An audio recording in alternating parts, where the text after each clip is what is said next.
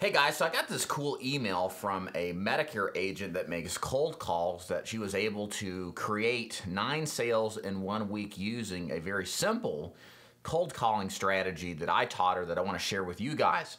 So my name is David Duford. I own Duford Insurance Group. I train to recruit agents nationally to sell final expense Medicare and annuities, both face-to-face and over the phone. If you enjoy this kind of content, please subscribe and like the video. Thanks so much for watching. So I got this email from Miss Diane and uh, she found an old video of mine where I talked about a cold call script. It's real simple, really direct, and gets great results. And she adapted it towards her Medicare supplement outbound cold calling and uh, reported that she had written nine total sales in one week and uh, had some interchange with her. I actually thought she was uh, pulling my leg originally and uh, got some more information from her. And here's exactly the script that she's using and the kind of response that she's getting. So her script reads, Hey, Mrs. Smith, this is Diane, and we help people with Medicare and life insurance. Would you like to learn more? That's it. It's that simple.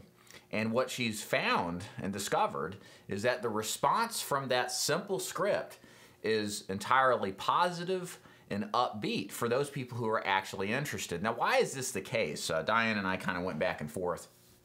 And I think number one, uh, if we look at the start of the call, even before the person says hello, her name is on the caller ID and her actual phone number is as well.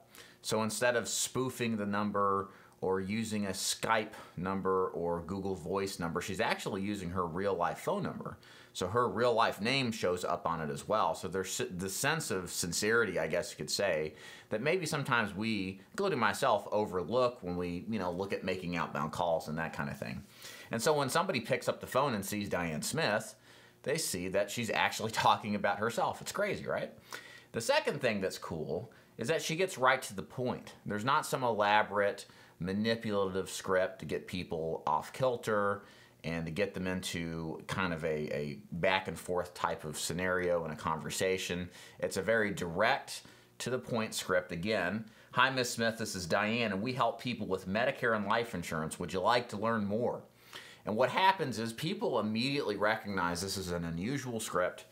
Uh, they're not used to this directness, and they either answer yes and uh, volunteer themselves for a longer conversation or answer no and they politely hang up the phone and then Diane goes on to the next call. Um, she's uh, going back and forth here in the call. Um, all she's doing is calling if you're interested, a uh, turning 65 type of market, um, just spending money on a cold call list using a dialer to do it. And she says here they've said they love actually talking to an agent and uh, are really seriously uh, super excited, I guess, in a sense, to talk to somebody who's up front and gets to the point right away. So um, there was one thing I would add to this. I did mention to Diane to consider uh, to enhance this, and we call this a restraint statement or a restraining statement. Now, I learned this script, I think I learned it from Claude Whitaker, so if you ever want to look up his stuff on YouTube, he's got a small little channel, it's very good. His books are excellent. You can buy them on Amazon. And the restraint statement would sound something like this. Hey, Mrs. Smith, this is Diane, and we help people with Medicare and life insurance, but only if you're on a fixed income. Would you like to learn more?